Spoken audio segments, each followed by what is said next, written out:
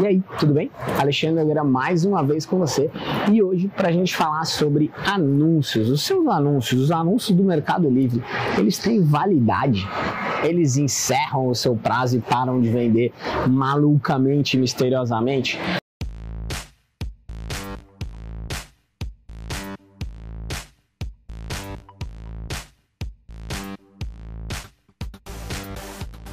Você já deve ter notado que alguns anúncios perdem tração com o tempo e antes o que era uma excelente oferta começa a perder um pouco de tração. Eu sempre notei isso, tá?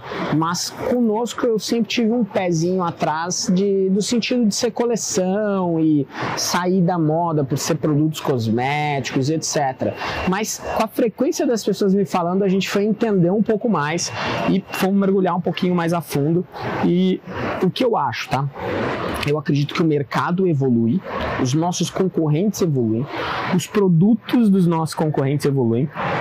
E se a gente não evolui o nosso anúncio, se a gente não evolui a qualidade do nosso anúncio, se a gente não coloca provas sociais dentro do nosso anúncio, se a gente não começa a ter avaliações positivas dentro do nosso anúncio, se a gente não impulsiona ele com ads, é, com o tempo, eu acredito que possam ter pessoas que vão tomando fatias do nosso mercado.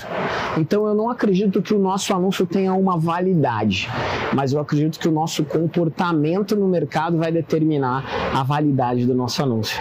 Se deu para entender direito, mas assim, a forma que você age efetivamente com seus anúncios é o que vai determinar se ele vai ter uma validade curta ou uma validade longa. Vamos entender como um processamento de um produto, né? Às vezes o jeito que ele é armazenado, o jeito que você cuida, é o tempo é o que determina o tempo que ele dura, né? A exposição dele, etc. Então, se a gente trouxer para esse cenário, você concorda comigo que se você não olha, se você não cuida, você começa a ter cada vez mais é, um cenário pior. Você começa a poder perder espaço para quem está inovando. Então, o que, que você tem feito para o seu anúncio ficar no topo?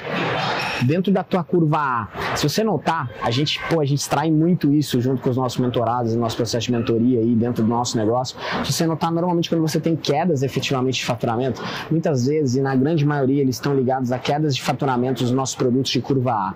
Algo aconteceu, um concorrente tomou o mercado, alguma coisa aconteceu e a gente perde um pouco de mercado e ele acaba caindo.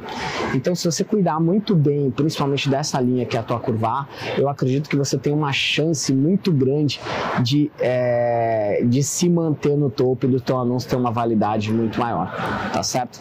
Então, atue firme com isso, tá? É, siga e, e, vamos falar assim, persiga é, ferozmente a tua curva de anúncio, tá bom? Então fica ligado aí, valeu e até mais.